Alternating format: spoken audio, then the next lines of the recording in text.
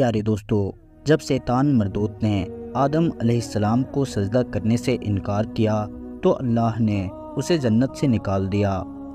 जन्नत में आदम अलैहिस्सलाम की उदासी को देखकर अल्लाह ने उनकी बाई फसली से अम्मा हवा को पैदा फरमाया और वो दोनों बतौर जोड़ा जन्नत में रहने लगे। तन्हाई और उदासी दूर हो गई। अल्लाह पाक ने हुक्म दिया कि जन्नत में जहाँ मर्ज़ी जाओ, जो जी चाहे वो खाओ। लेकिन खबरदार, इस दरख्त के पास मत जाना और ना ही इसका फल खाना, वरना तुम हद से बढ़ने वालों में से हो जाओगे। प्यारे दोस्तों, उस वक्त जन्नत में सांप भी रहा करता था और जन्नत में सांप के पाँव भी हुआ करते थे और उसके मुँह से एक ज़बरदस्त खुशबू भी आती थी। लेकिन एक वक्त ऐसा भी आया जब सांप को जन्नत से निकाल दिया गया। आखिर इसकी क्या वजह थी कि सांप को जन्नत से क्यों निकाला गया? आगे हम आपको वीडियो में बताएँगे और इसके साथ साथ पाकिस्तान के शहर सरगोधा में सांपों के अजाब से कौन सा वाक्य पेश आया है, ये भी आपको ज़रूर बताएँगे। लेकिन उससे पहले आपने अभी तक इस वीडियो को लाइक नहीं किया है तो वीडियो को लाइक करें तो आइए शुरू करते हैं। प्यारे दोस्तों, सांप जब जन्नत में रहता था तो उसको ये इजाज़त थी कि वो जन्नत से बाहर भी जा सकता था, एक मर्तबा। जब सांप जन्नत से बाहर आया तो शैतान ने कहा कि मुझे भी अपने साथ वापस जन्नत में लेकर चलो। जिस पर सांप ने कहा था कि तुम तो जन्नत में नहीं जा सकते, तुम्हें अल्लाह ने जन्नत से निकाल दिया है।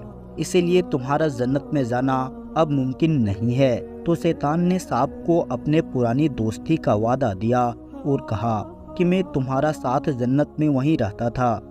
वो दिन याद करो जब मैं तुम्हारा दोस्त था, मुझे अपने साथ ले चलो। सांप ने पहले तो बहुत मना किया, लेकिन जब शैतान ने जब बार बार कहा तो सांप ने कहा कि ठीक है, लेकिन तुम ऐसे तो अंदर नहीं जा सकते, बल्कि तुम ऐसा करो कि तुम सांप बन जाओ, और ये मोर भी मेरे साथ बाहर निकला है, ये तुम्हें खा जाएगा, और यूँ तुम जन्नत के अंदर पहुँच जाओगे, अंदर जाकर मोर तुम्हें उगल देगा। तो दोस्तों, शैतान को ये मशवरा पसंद आया और शैतान फ़ौरन सांप बन गया और मोर ने उसे खा लिया। सांप और मोर जन्नत में चले गए और मोर ने वहाँ पहुंचकर शैतान को उगल दिया और यूँ शैतान जन्नत में दाखिल हो गया।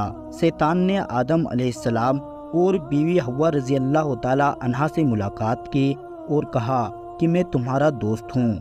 प्यारे दोस्तों, शैतान ये कहने लगा कि जन्नत के उस फल को तुम दोनों ने अभी तक क्यों नहीं खाया है? उन्होंने कहा कि अल्लाह ने हमें उस दरख्त से दूर रहने के लिए कहा है और उस दरख्त का फल खाने से मना किया है। इसीलिए हमने वो फल अभी तक नहीं खाया है और ना ही हम ऐसा करेंगे। हम अल्लाह के हुक्म के मुताबिक चलेंगे।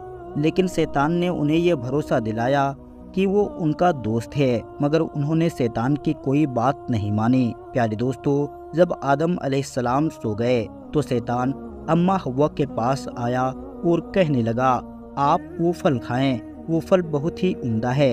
इसलिए अल्लाह ताला ने उस फल को खाने से आपको मना किया है। कहीं वो फल खाने के बाद आप दोनों फरिश्ता ना बन जाएँ।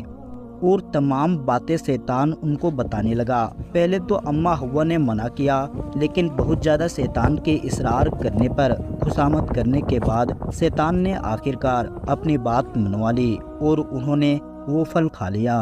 और सिर्फ़ यही नहीं, आदम अलैहिस्सलाम के उठने के बाद बीवी हवा के कहने पर आदम अलैहिस्सलाम ने भी वो फल खा लिया। प्यारे दोस्तों, इस फल को खाने के बाद उनके जिस्म से लिबास उतरने लगा और अल्लाह ने कहा, मैंने इसी वजह से इस दरख्त से आप लोगों को दूर रहने का हुक्म दिया था। मगर तुम दोनों ने अपने जानों पर बहुत बड़ा जुल्म किया है।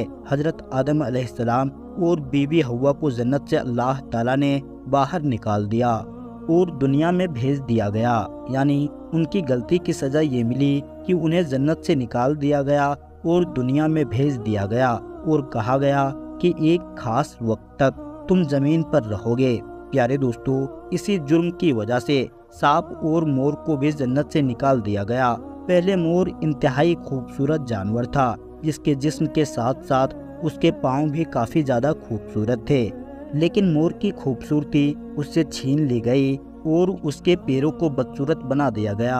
आज हम देखते हैं कि मोर वैसे तो बहुत ज़्यादा खूबसूरत नज़र आता है, लेकिन उसके पाँव इंतहाई भद्दे और बदसूरत नज़र आते हैं। और सांप, जिसने ये मशवरा शैतान को दिया था कि जन्नत में मोर के ज़रिए ले जा सकता हूँ तो सांप के मुँह से आने वाली महक और खुशबू को छीन कर उसके मुँह पर जहर पैदा कर दिया गया और सांप को भी पैर हुआ करते थे। तो अल्लाह ने उसके पैर भी खत्म कर दिए और सांप से कहा कि तू ज़िंदगी भर हमेशा तक कयामत तक अपने पेट के बल ही रेंगता रहेगा।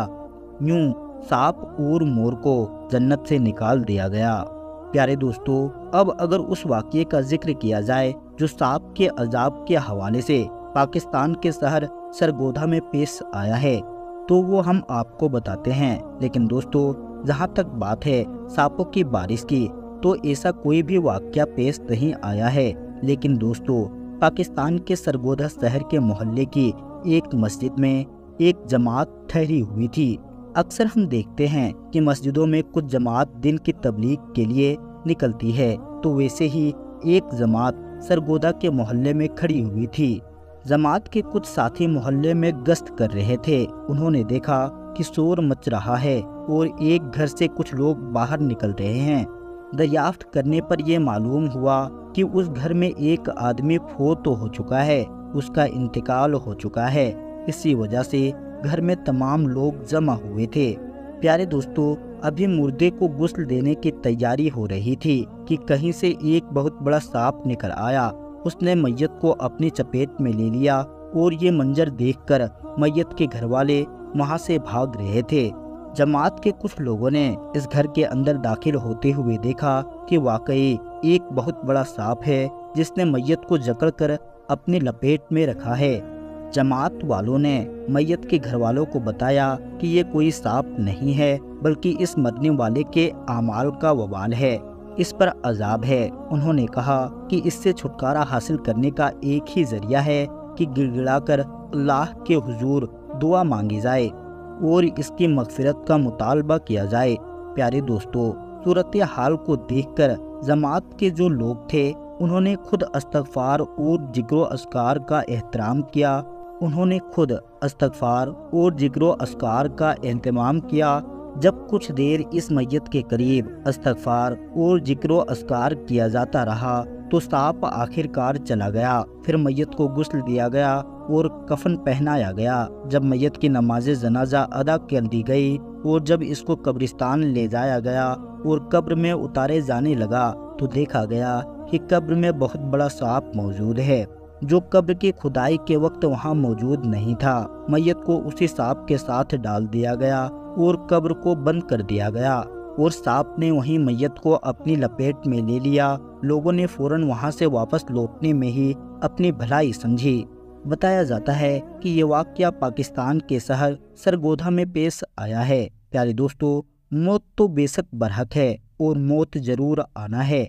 हर जानदार को मौत का मज़ा चखना है। लिहाजा हमें चाहिए कि वक्त रहते हुए अपने गुनाहों से बाज आ जाए, नेक अमल करें, इबादत करें, अल्लाह पाक अमल करने की तोफ़ीक अता फरमाए। आमीन। अल्लाहुम्मा आमीन। प्यारे दोस्तों, आपको ये वीडियो पसंद आई है तो हर बार की तरह आप लोग इस वीडियो को अपने करीबी दोस्तों में ज़रूर शेयर करें और अभी तक आपने हमारे चैनल को सब्सक्राइब नहीं किया है तो सब्सक्राइब करने के साथ साथ लगे बेल आइकन को ज़रूर दबा दें। हम मिलते हैं फिर एक नई वीडियो के साथ। तब तक के लिए